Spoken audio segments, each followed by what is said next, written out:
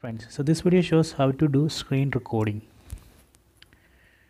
Open play store tap on play store then search for screen recorder then tap on this app screen recorder no ads.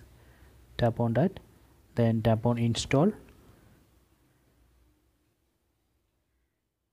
See it's installing. Okay installation completed so let me close this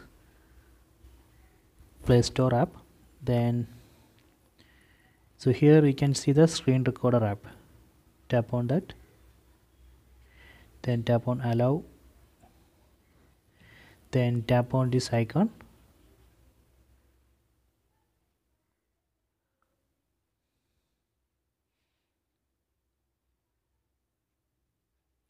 Then tap on this allow permission okay then tap on allow. Allow. Okay. Now you can see this uh, pop-up here. And here in this pop-up you have to tap on this camera icon.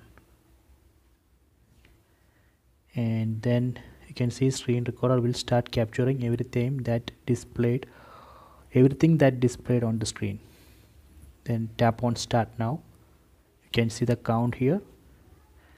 Okay now it started recording. So it's recording all those things.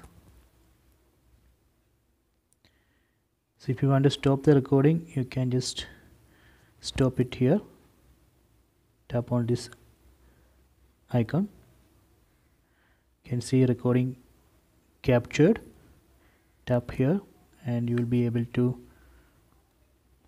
open that recorded video with a video player. Let me select video player then tap on allow. See now it's playing the recorded video. So, so this way we can do screen recording. So if you want to see where it actually store that uh, recorded video you can go to my files then videos. So there you can see uh, screen recorder. So there this is a file which I recorded